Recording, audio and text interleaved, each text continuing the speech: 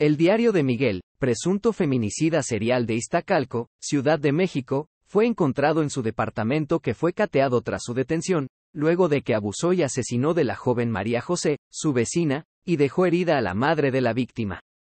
Cada vez salen más detalles a la luz del presunto feminicida y descuartizador que al menos estaría relacionado con 20 feminicidios más. El periodista Antonio Nieto dio a conocer que en el departamento, además de cráneos humanos y credenciales, autoridades encontraron un diario de sus crímenes.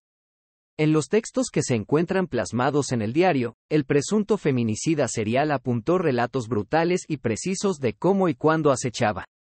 Miguel quería ser descubierto. Quería parar pero no podía. Fiscalía CDMX lo indaga por 20 feminicidios, se lee en la publicación.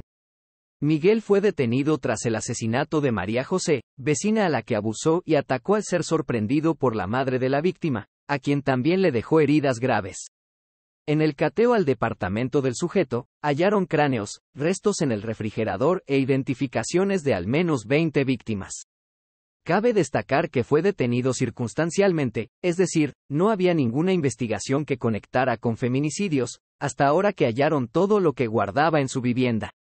Según trasciende, entre las víctimas del presunto feminicida y descuartizador, se encuentran estudiantes, laboratoristas, sexoservidoras y compañeras.